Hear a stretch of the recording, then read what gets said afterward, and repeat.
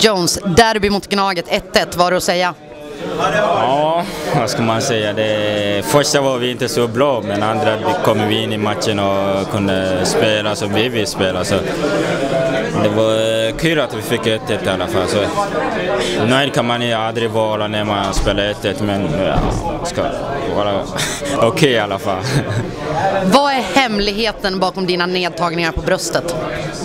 Ja, det, det har jag inget svar till det, men uh, ja, jag tränar, tränar och tränar, men uh, man uh, ja, kommer automatiskt eller någonting sådär, alltså, man är bra på i alla fall.